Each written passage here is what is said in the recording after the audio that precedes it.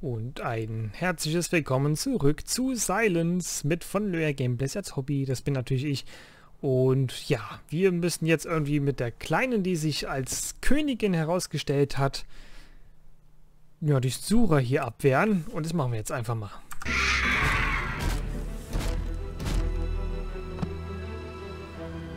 Ein Seil am Boot?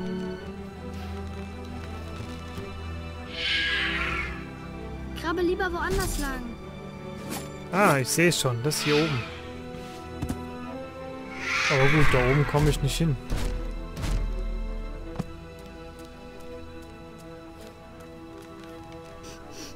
Hm, riecht wie das Zeug, das Miss Clock immer in ihren Kaffee kippt.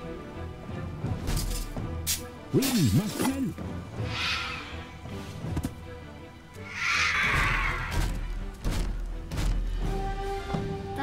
Jetzt ein bisschen. Aber das merkst du schon nicht. Du merkst mich ja nicht mal. Das war mir so klar. Oh, die Tür ist fast kaputt, stimmt.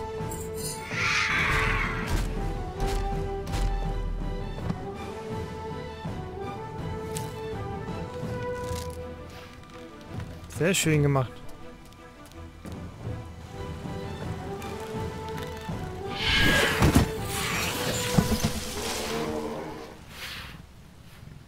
Am Finger ziehen, jawohl.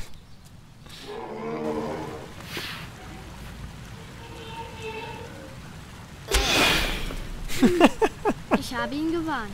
Ja, das habe ich. Alles okay bei dir? Ja, alles klar. Wir können weiter. Wirklich, die Luft ist rein. Wie hat sie das geschafft? Sie ist die Königin. Ja, ja, auf in die Stadt. Und Cedric ist überhaupt nicht begeistert, dass er nur der Hofner ist. Wie tief das Wasser hier wohl ist? Sedwick, kommst du? Ja, doch.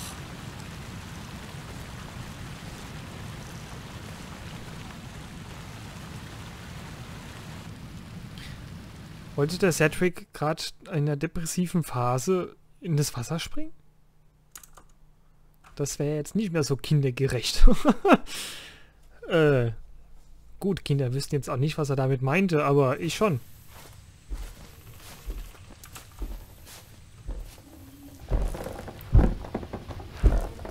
Wie ist der Plan? Sollen wir uns etwa alle unter Renis Mantel verstecken? Wir nehmen den Weg durch die Kanalisation ins Tal der gefallenen Götter. Da wohnt Shana? Toll! Die Sucher werden sich sofort auf uns stürzen, sobald wir die Brücke betreten. Darum werde ich zur Ablenkung eine Bombe werfen. Kommt mit! Das ist doch verrückt. Komm schon nur. Hinterher. Wen meinst du? Ich bin Sedwick. Na komm. Oh, er ist kein König. Bombe tickt.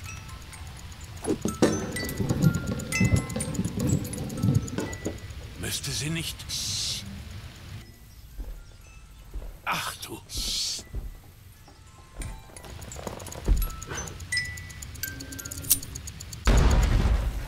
Na toll, Brücke kaputt.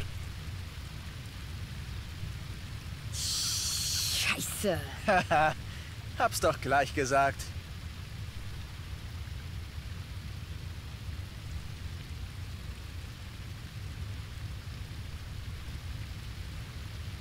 Okay, der Noah geht mir schon mittlerweile auf den Sack. Und nun? Euch bestimmt auch. So miese Peter will keiner. Leute, helft mir mal, die Planke über den Abgrund zu schieben. Und dann stellt euch alle auf das Ende da drauf. Gute Idee.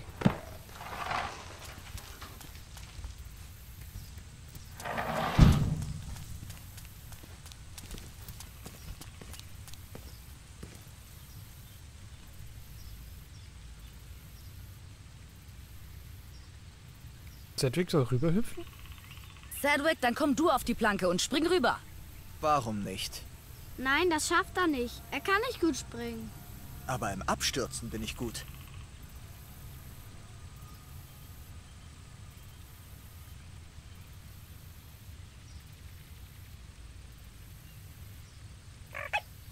Schlechte Aerodynamik, wie Noah sagen würde.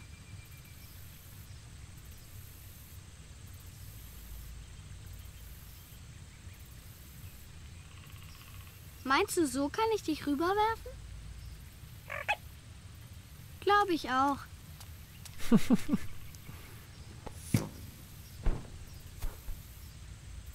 Irgendwie wusste ich's.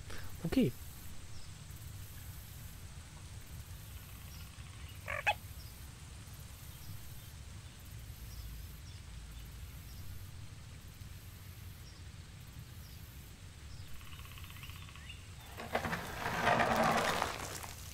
Ja, Spotty, prima machst du das.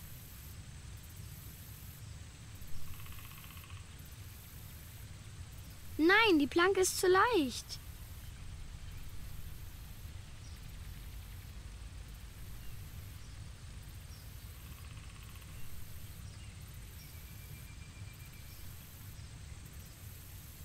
Versuch dich mal schwerer zu machen.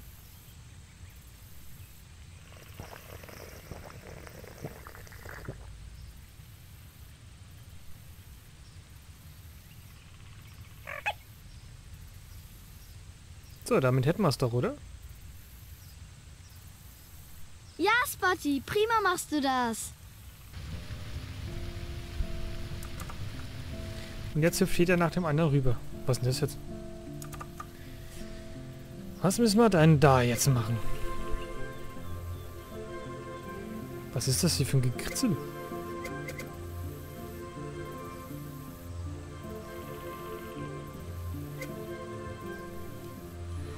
Ach so, okay.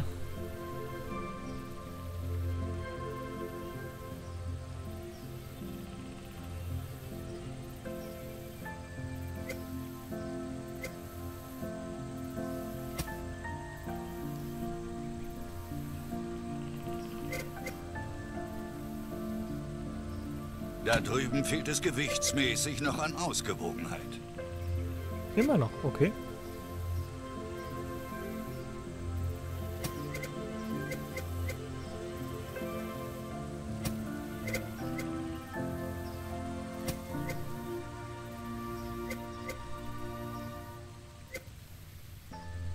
Gegengewicht, Leute. Okay.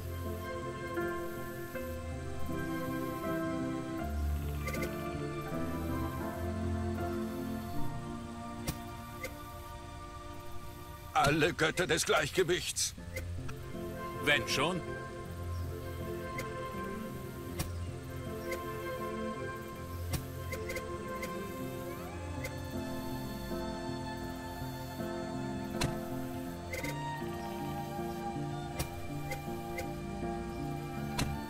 Immer noch nicht.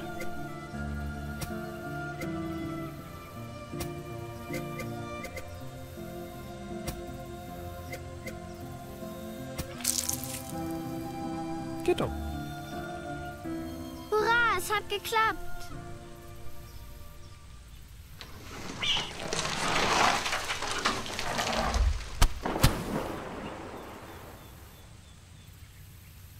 Aber es sollte wohl so sein.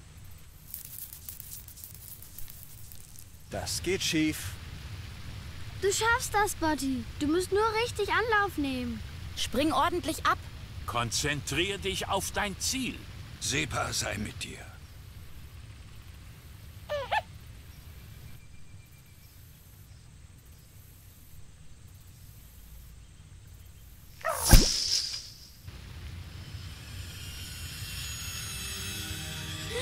Spotty! Oh nein! Hab's ja gewusst.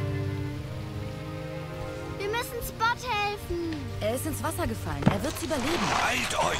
Komm, Rini, schnell. Aber Spot... Wir suchen unsere Leute zusammen. Und treffen uns am Hafen, okay? Okay. Hey, eure Leute sind mir egal. Ich will auch zu Shana. Keiner hält dich auf. Der Kerl fuck nervt. ich kann wohl nirgends hin. Okay.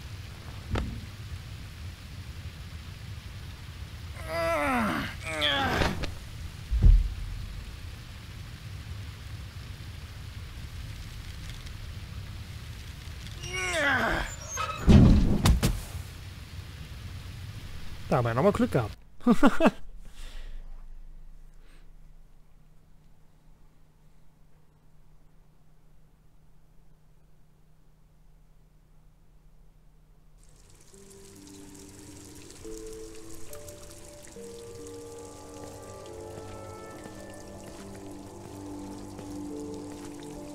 Die Kalimara müssen ziemlich sauer auf ihre Götter gewesen sein. Samuel sprach nur von einem Gott, aber hat er auch so viele verschiedene Gesichter? Einen nannte Janus den großen Gambler. Das ist wohl der Obergott. Sie hätten mal besser der falschen Königin den Kopf abschlagen sollen. Rini? Kyra? Wo seid ihr?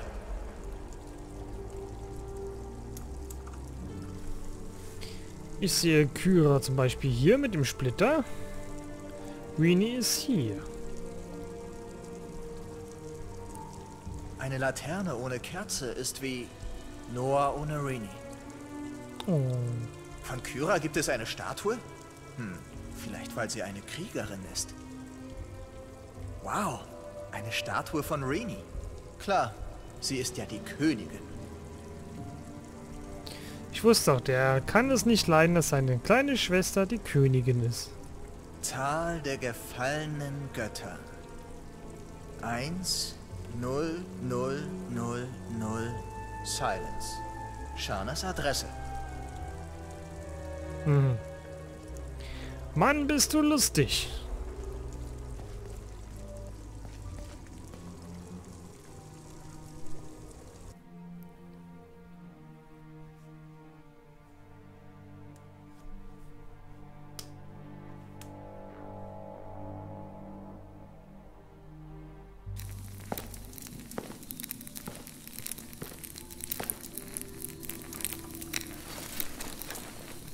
Hallo, Sedgwick.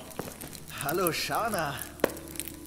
Dass wir uns nochmal über den Weg laufen. Was, das letzte Treffen war nicht gerade das, was man gern in Erinnerung behält. Schwamm drüber. Du kannst ja nichts dafür, dass du Dinge erzählst, die keiner hören will. Du bist schließlich ein Orakel. Und du bist immer noch derselbe Clown. Also lustig finde ich diesen Clown nicht. Diese Steinstatuen draußen, das sind doch nicht wirklich Rini und Kyra, oder? Doch, Aber wieso? Warum? das hier wird eine Prüfung für dich, Sedgwick. Und sie hat schon begonnen. Bist du in der Lage, diesmal das Richtige zu tun, Sedgwick? Na klar. Fang damit an, Rini und Kyra ihre Lebenslichter zurückzubringen. So kannst du beide befreien. Ich stelle dir einen magischen Thron zur Seite. Bedenke, dass der Thron symbolisch für den Herrscher von Silence steht und also auch so funktioniert. Hast du das alles verstanden?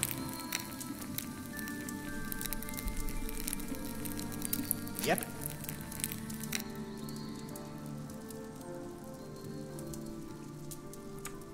Das heißt, auf den Thron sollten wir uns nicht setzen, weil wir sind ja auch sowieso nicht der Herrscher.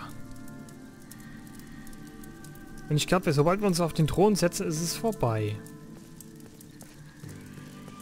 Ganz schön romantisch. Erwartest du heute noch jemanden? Das sind nicht bloß Kerzen, sondern Lebenslichter. Geht eine Flamme aus, erlischt damit ein Leben. Ups. Entschuldigung. Okay. Äh, hier geht's wohl nicht lang zurück.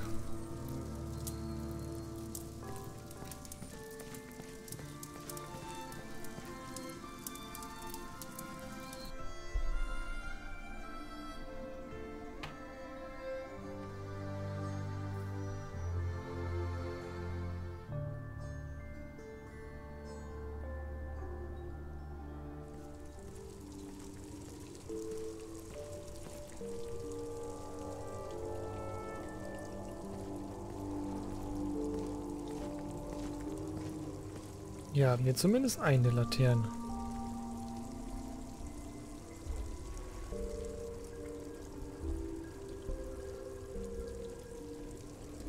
Sie oder Rini? Sicherheitshalber erstmal sie. Oh, das erinnert mich an kalte Abende im Regen. Wenn ich mit meiner Laterne den Weg zum Zirkus wies. Und keiner kam. Okay, anscheinend können wir das nicht machen.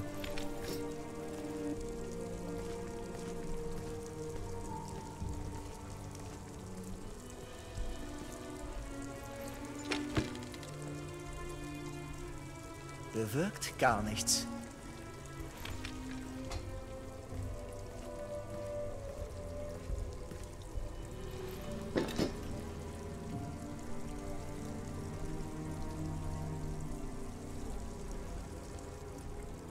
Das erinnert mich an kalte Abende im Regen.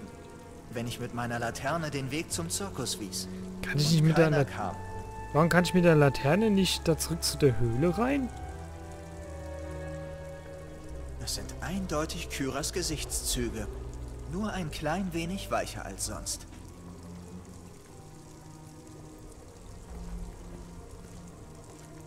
Das ist also der wundersame Thron. Da hinten steht was drauf.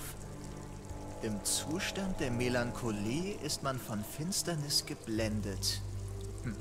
Ein großer Narr, der das gesagt hat. Mal sehen, was er so kann. Hm? Gar nichts. Hm.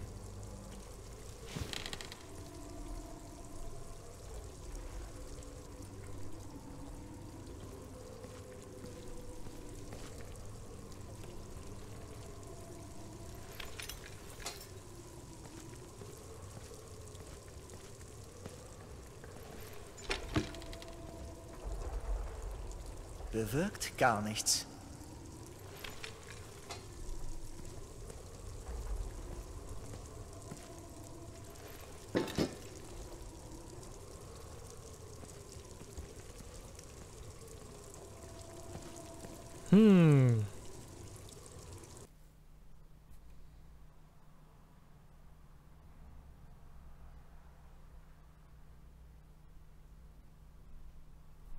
Ob uns noch einfällt, was wir machen müssen?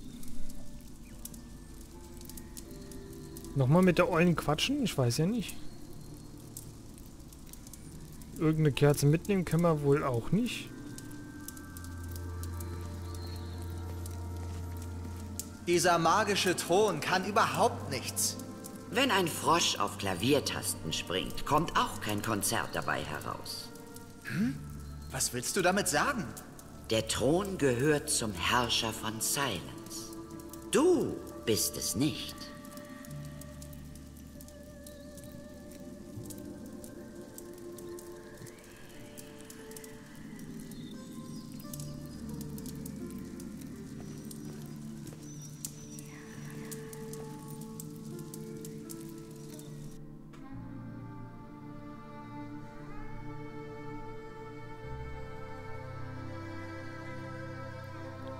Können wir denn noch weiter zurück? Oder können wir nur zwischen Orakel und hier hin?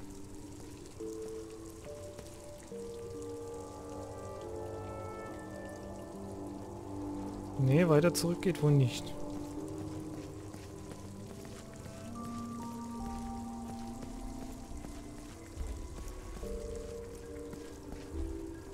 Ich befreie dich, Rini.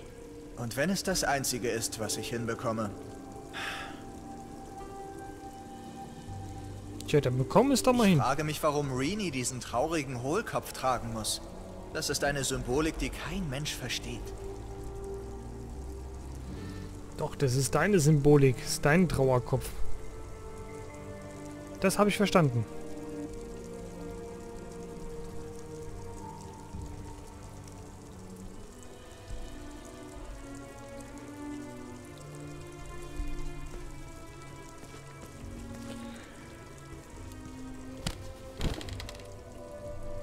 Da passiert nichts. Ist ja klar, wir sind nicht der Herrscher, aber wieso kann ich mit der Laterne nichts machen?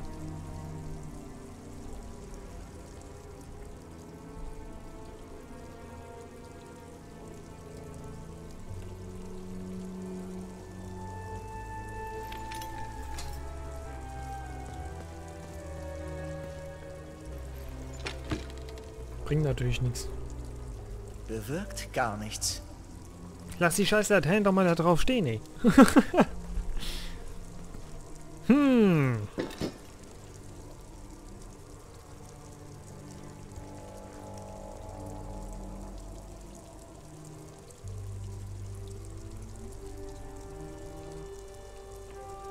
Man kann ja aber rein gar nichts machen, ne? Eigenartig. Okay, ähm, es tut mir leid, aber ich komme jetzt erstmal nicht weiter und wir werden wahrscheinlich dann erst im nächsten Teil weiterkommen. Und sag, verabschiede mich hiermit schon mal. Das war Silence mit von Löher Gameplays als Hobby, als mit mir. Und wenn es euch gefällt, ihr dürft gerne einen Daumen da lassen. Nach oben natürlich. Und ähm, wenn nach unten, dann bitte auch warum. Also als Kommentar bitte unten hinschreiben, warum Daumen nach unten. Aber ihr dürft natürlich auch so gerne Kommentare reinschreiben. Und dann sehen wir uns beim nächsten Mal wieder. Ihr dürft auch mich gerne abonnieren, dann kriegt ihr natürlich Bescheid, wenn der nächste Teil hochkommt. Und dann sehen wir uns hoffentlich wieder beim nächsten Teil oder bei einem anderen Let's Play. Ansonsten wünsche ich euch noch viel Spaß bei mir auf der YouTube-Seite und generell auf YouTube. Und bis dann. Tschüss.